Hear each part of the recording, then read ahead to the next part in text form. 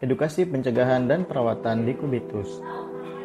Luka dikubitus adalah suatu luka borok yang terjadi karena posisi berbaring terlalu lama oleh tekanan dari tempat tidur, kursi roda, gips, pembidaian, atau benda keras lainnya dalam jangka waktu yang lama. Penyebab luka dikubitus adalah terus-menerus berbaring, duduk dan bertumpu hanya pada satu bagian tubuh dalam jangka waktu yang lama, kurangnya asupan nutrisi dan cairan tubuh. Tanda dan gejala umum pada penderita ulkus dikubitus adalah perubahan warna kulit, bengkak, muncul cairan atau nanah, perubahan suhu kulit, luka terbuka pada kulit, kulit menjadi lunak atau lebih keras dibandingkan jaringan sekitarnya.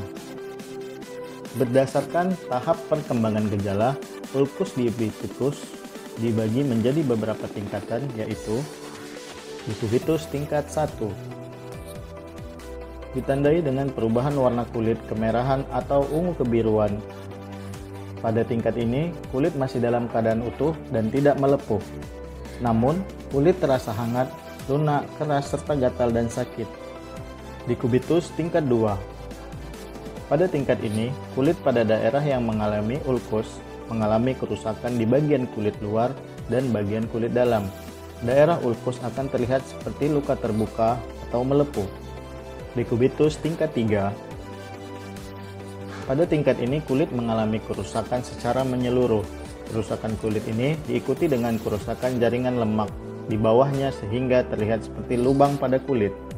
Dekubitus tingkat 4 Pada tingkat ini mengalami kerusakan yang lebih parah disertai dengan nekrosis atau kematian pada jaringan lainnya di sekitar ulkus seperti jaringan otot dan tulang.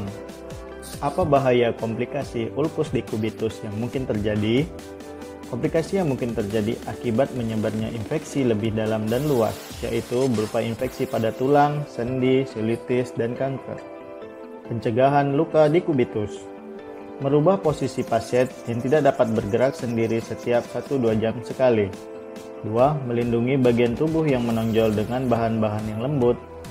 3. Menggunakan bed dekubitor Keempat, mengkonsumsi makanan sehat dan bergizi seimbang. Kelima, meses dengan oil untuk menjaga kelembapan kulit. Keenam, menjaga kebersihan dan kerapian tempat tidur. Langkah-langkah perawatan di kubitus. 1. Cuci tangan sebelum perawatan luka dan gunakan sarung tangan. Kedua, bersihkan luka menggunakan cairan infus steril NaCl 0,9%.